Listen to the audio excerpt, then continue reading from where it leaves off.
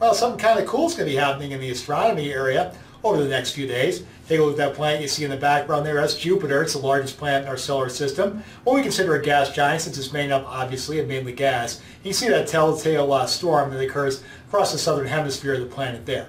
Now, if they're interested in, about Jupiter now, it's going to be in opposition. Now, all this means is that it's going to be exactly on the line between the Earth and the Sun. That's going to occur on Monday night. It will be quite bright over the next month or so.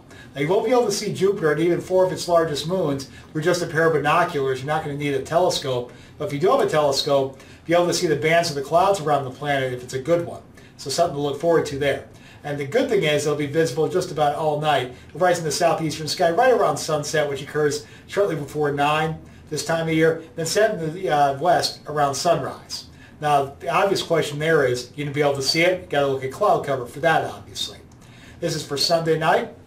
It looks pretty good there. You can see most of the uh, state looking mostly clear. A few more clouds across the northwest, though. Even there you should see a glimpse of it. Opposition actually occurs on Monday night, though. Looking at that, not quite as optimistic here, unfortunately. You can see many, much of the area partly to mostly cloudy. Best chance of seeing it this night, the further south you go, looks like better conditions you'll have. Something cool going on there if you're into astronomy.